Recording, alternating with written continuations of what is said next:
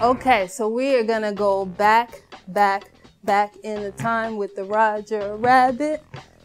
I don't know if you remember that movie, but Roger Rabbit, the dance was named because that was the amazingly popular movie at that time. So we have Roger Rabbit, one of our bounce grooves. If you remember what bounce groove means, it just means it's something that leaves the floor, right? So starting, let's start with the arms, okay? Couple different ways to do it. Of course, you throw in your own flavor. You can make up any way you want. So we'll try two different ways today.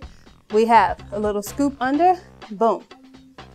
Two, three, four. You'll see some people push forward. One, two, three, four. Now notice I'm bouncing and I'm leaning away from my arms. It helps when you add the feet. So the arms again are push, two, three, four, or up here, six, seven, eight, okay? Now for the feet. We're gonna take the right foot, we're gonna pick it up, and we're gonna place it behind our left foot. Once you do that, left foot comes up. So you're replacing the left foot with the right. So you have and one and two and double it up and five and six and double it up. You can feel free to do single the whole time, but I like to throw in a little double every now and then. So let's try arms and feet together.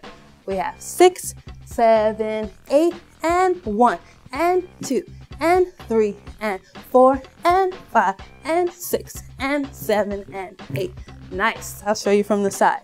Six, seven, eight, and one, two, three, four. I'm kicking back, back, back.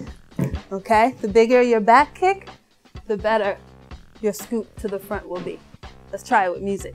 DJ Howcast in the house.